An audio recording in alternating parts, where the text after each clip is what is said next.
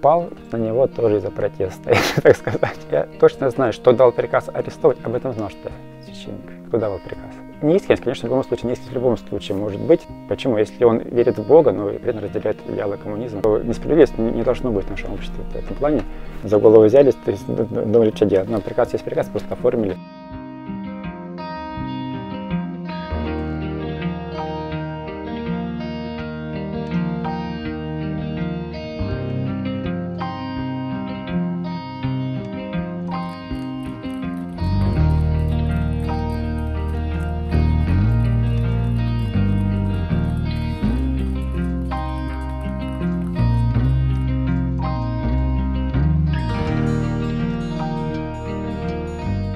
Если называть по церковному рангу, я протоиерей Православной Церкви на статье храма Сидория Николаевича Дворцов в поселке Николаевка. Я, я сейчас даю интервью как православный человек, гражданин, а не как священник.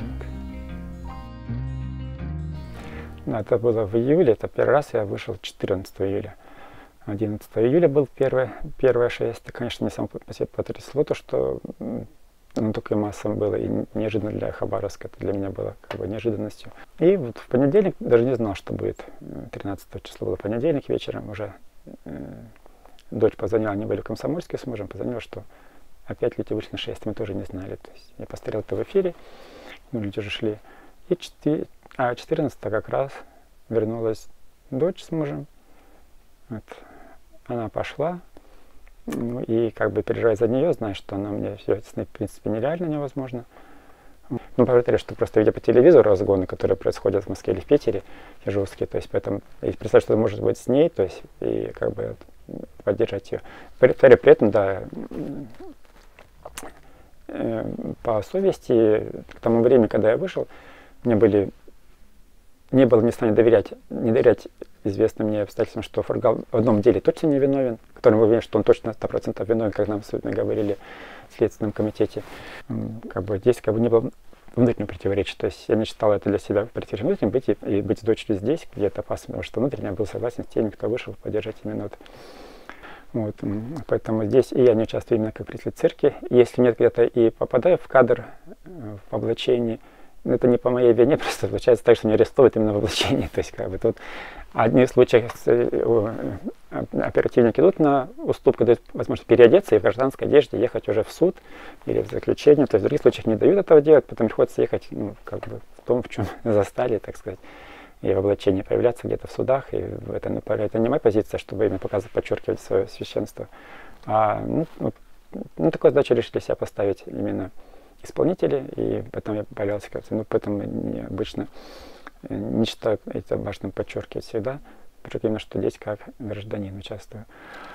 Опять же, если говорить э, о позиции церкви, церковь, да, у нее есть социальные концепции, э, она объявила свои, о том, что церковь будет призывать своих прихожан, своих э, верующих выступить против государства, если государство будет, сейчас даже почитать, наверное, все-таки цитату, чтобы не быть голословным.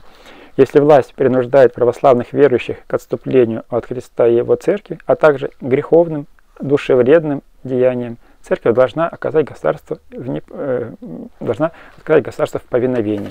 То есть это вот позиция церкви. То есть если у нас политика государства идет к греху, идет э, э, душевредным деянием. В этом плане церковь. Но здесь, конечно, можно именно очень широко смотреть этот момент. Поэтому я считаю, что это именно когда государство поступает несправедливо по отношению к человеку, и это все видят, понимают, и должны остаться в стороне, боясь. Но это тоже, можно сказать, что подождать душевредным, ну, потому что оставить человека в беде, не заступаясь за него, это получается, я считаю, именно можно к этому в принципе отнести ситуацию. Поэтому я изначально говорил, что я хожу не, даже не столько как в плане политическом, а в плане э, человека, который, я считаю, несправедливо осужден, за него люди вышли заступиться. Я говорю, что это несправедливо, должно заступиться. И здесь даже как-то вот э, болел, читал немножко литературы и духовной тоже, вот, и Антон Сурожского, Антония Сурожского, вот у нас трехтомник, третий том недавно вышел, хороший очень автор издания у него. Он говорит, как раз подчеркивая важные ценности общества именно он говорит, права человека это просто замылены, а если говорить о достоинстве человека, это важно, за что христиане должны выступать. Также за справедливость христиане должны выступать и поддерживать все, что требует справедливости, и за свободу. То есть эти вещи он считает именно христианскими ценностями. И в этом плане, если это все нарушено, то есть в обществе, христиане должны ну, сказать свою позицию, что мы за это. И он здесь даже более, как бы, может, резко говорит отношение вот церкви. Позорно, что христианские церкви по всему миру всегда проповедовали слабым кротость, смирение и все то, что Ницше назвал, назвал бы арабскими свойствами. И почти никогда, за редким исключением, не противостояли власть имеющим, не говорили им, что им нет места в христианском мире.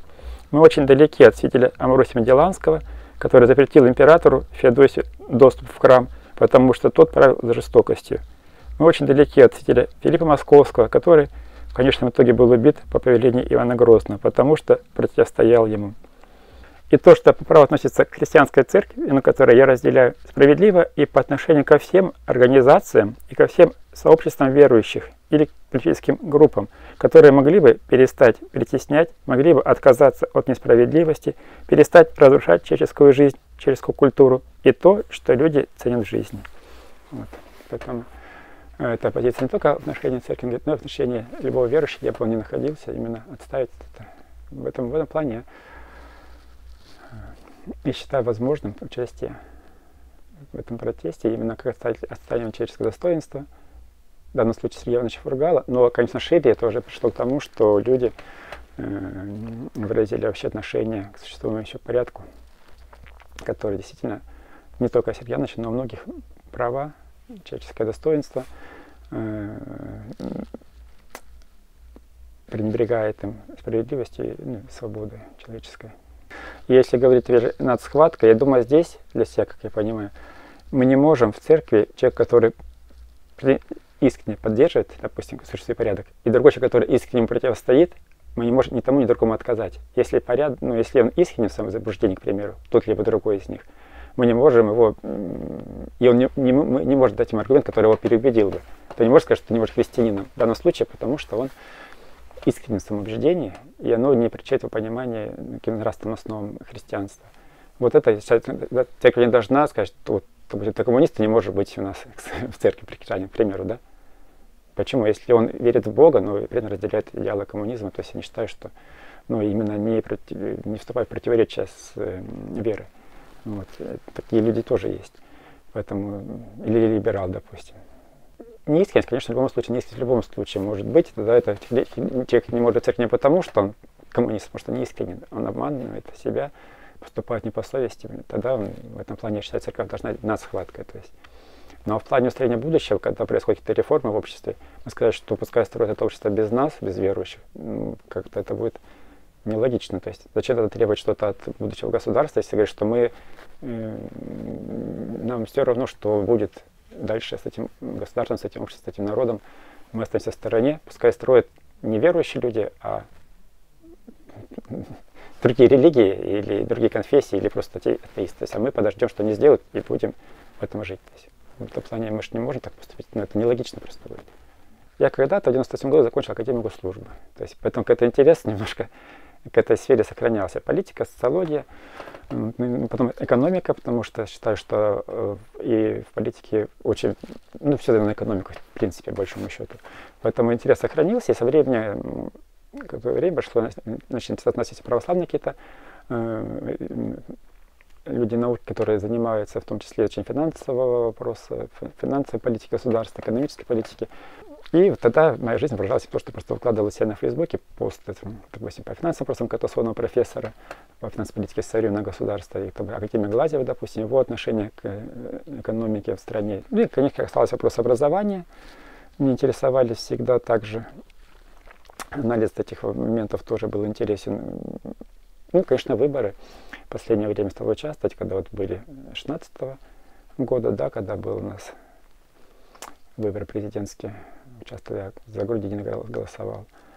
Вот.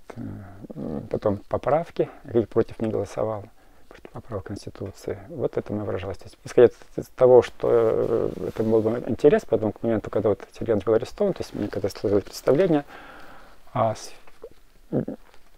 помощь, что сейчас происходит в экономике, э, передел собственности и прочее, каким механизмом это действует. И как раз этот передел, который был связан с Сергеем Ивановичем и Дмитрием он попадал просто схему, которую Хасин описал еще в 2012 году. Ну, вот его анализ э, захват, э, собственно, через, залог, через банковские залоги, то есть как подходил как раз полностью под, э, что у нас случилось с заводом.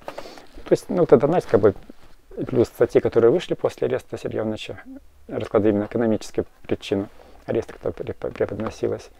Вот поэтому они, в принципе, просто перекрывались, поэтому мне как бы было ну, основываясь на этом, я понимал, что это вполне реальная ситуация, которая сильно так оно и есть. Ну, то есть, за человек как бы так. Вышел именно не как, за, в, плане, в, плане, в плане, что несправедливость не, не должно быть в нашем обществе в этом плане. И это и раньше была политика как бы церкви, причалывание за заключенных. То есть в этом плане вот, я считал вполне нормально священником выйти, причалываться за человека, который считает он осужденным несправедливо, вот, поддержать, поэтому не считал здесь даже в плане, священник может это делать, печаловаться. На данном случае не как священник, так как я не, не представляю церковь, а именно как человек, который с чистой совестью может это делать. Вот поэтому это первый раз я озвучил это свое желание в виде обращения э, к горожанам, которые присутствуют часто на шествиях, на митингах, чтобы это случилось, только у нас были арестованы временно Ангела Иди, э, Митя Хитогуров, Дмитрий, тоже с Митя день арестовали, получилось так. И, по-моему, в это время э, Сергей Ньюс и Мария э, Русньюз, да, они, по-моему, ехали в Москву, кажется.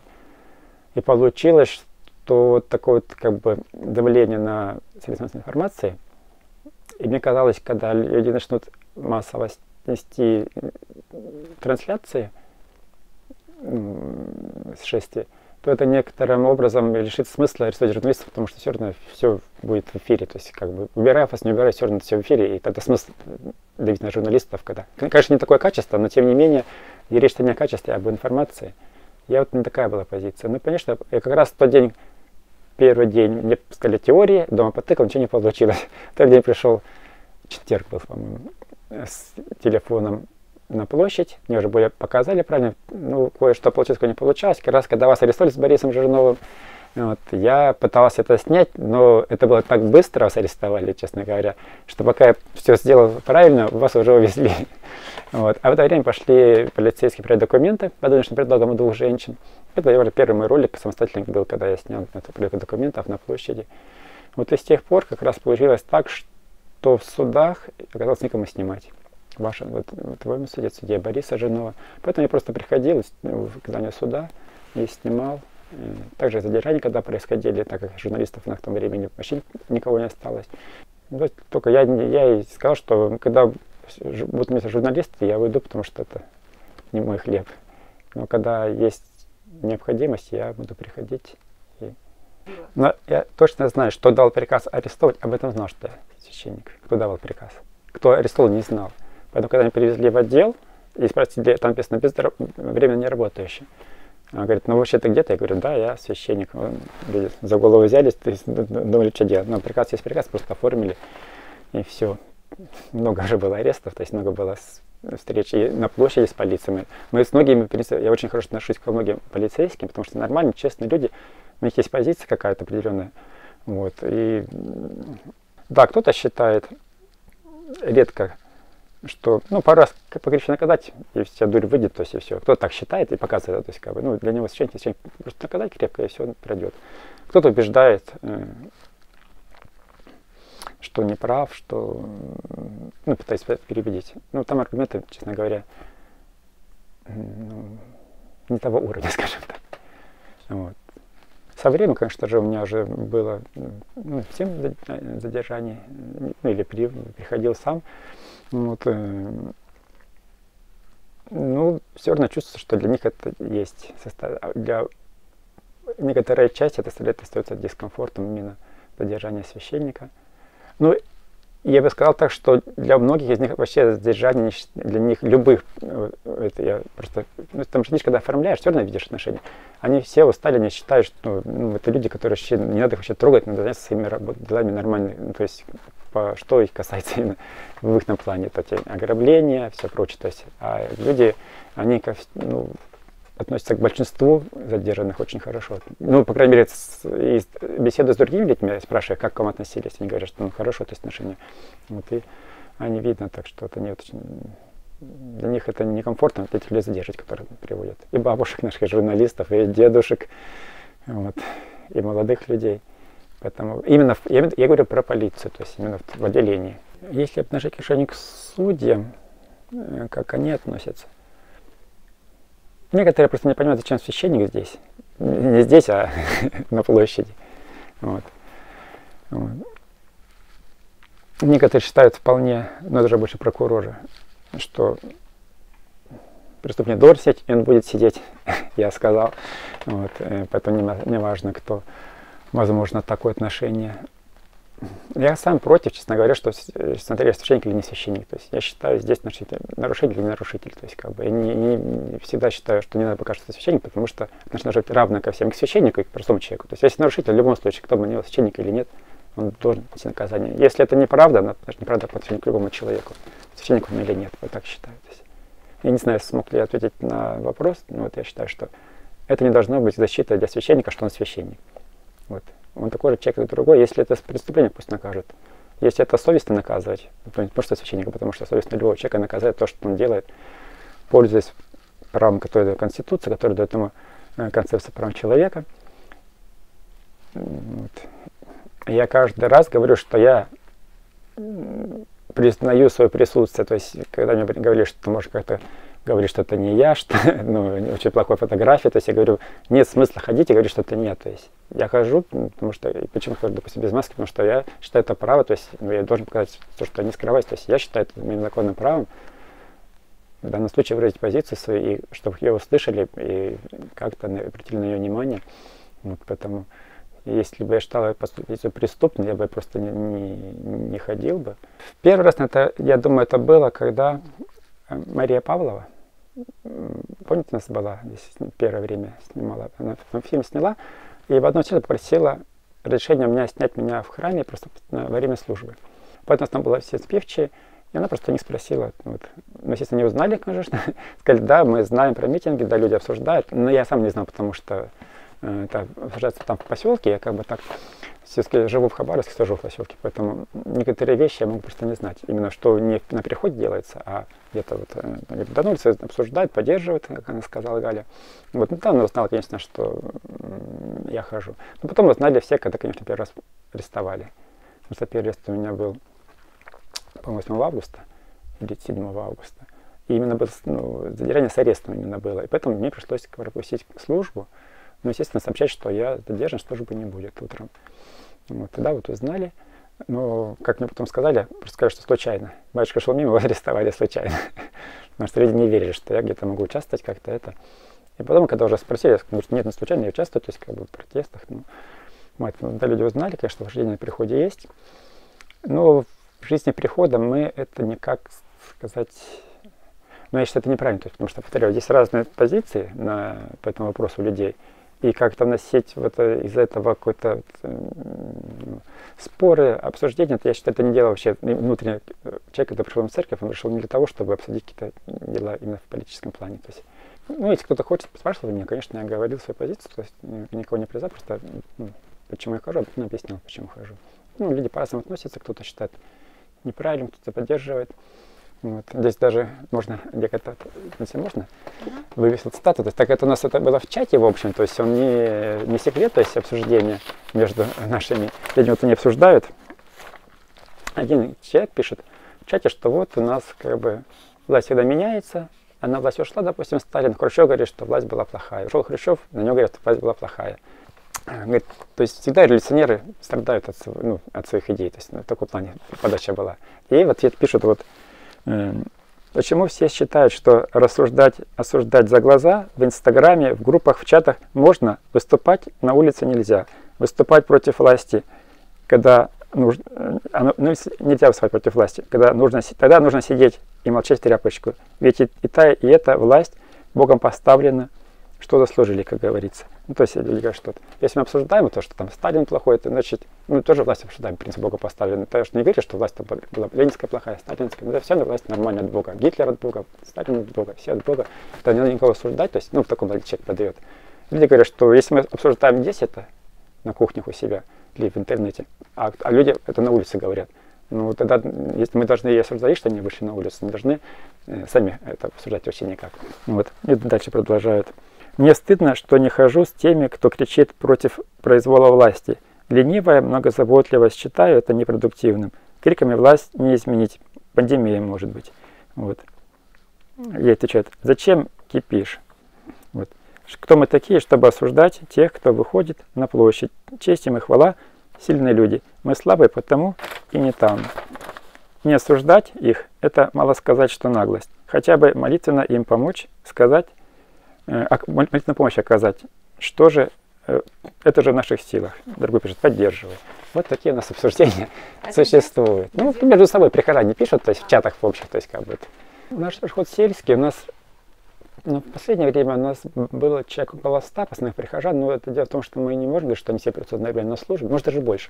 Но потому что кто-то работает, кто-то по болезни может прийти, кто-то с детьми достаться. А так, пацанчик, через 100 точно есть. Вот, а на приходе я уже давно, с 2001 года, но попал на него тоже из-за протеста, так сказать.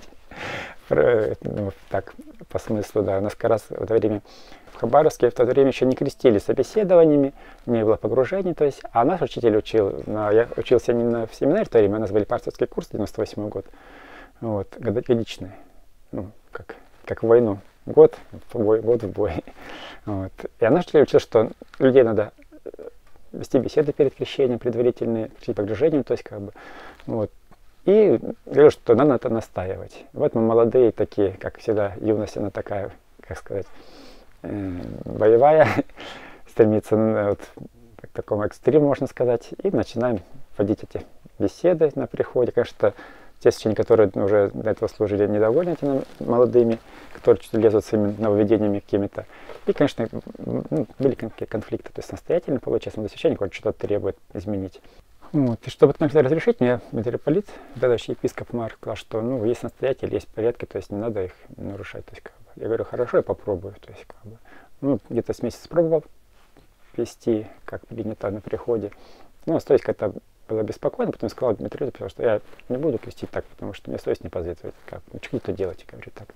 Ну, был епархиальный совет, и как мне потом сказал, говорит, странно, Епископ взял мне говорит, вот тебе переход Николаевки, хочешь крести как хочешь. То есть беседа, поливай, погружай, то есть как бы твое дело. То есть раз не хочешь быть, ну давай, ты считаешь правильно, да вот тебе сам занимайся, то есть я не против.